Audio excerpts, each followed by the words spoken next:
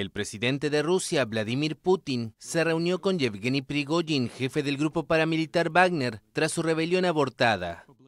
Según el portavoz del Kremlin, Dmitry Peskov, el encuentro de casi tres horas ocurrió el 29 de junio, cinco días después del motín.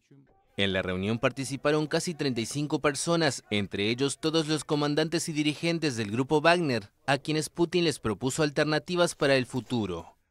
La presidencia informó que tras escuchar sus explicaciones, el mandatario recibió la promesa de que los comandantes son sus partidarios incondicionales y que están dispuestos a seguir luchando con la patria. Por otra parte, el jefe del Estado Mayor ruso y comandante de las operaciones militares en Ucrania, Valery Gerasimov, hizo su primera aparición pública desde la rebelión fallida, de la que era blanco junto al ministro de Defensa Sergei Shoigu.